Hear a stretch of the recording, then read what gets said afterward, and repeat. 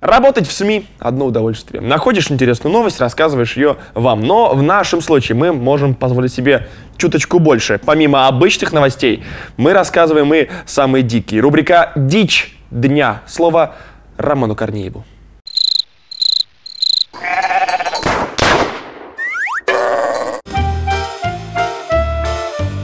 Дичь дня.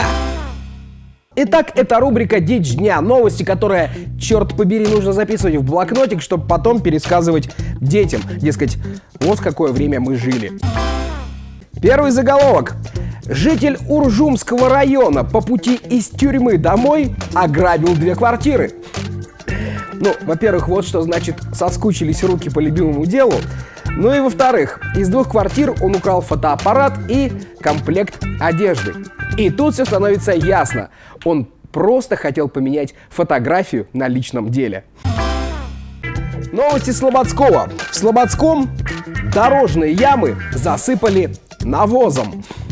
По сути, это иллюстрация отношения власти к кировским дорогам. Ну, то есть, мы на них.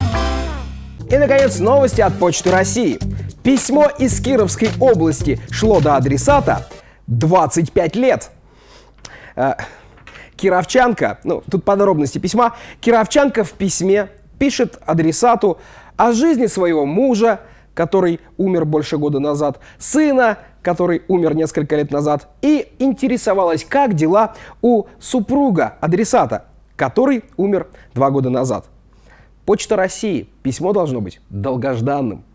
Это была «Дичь дня». Какие новости в Кирове, такая и рубрика.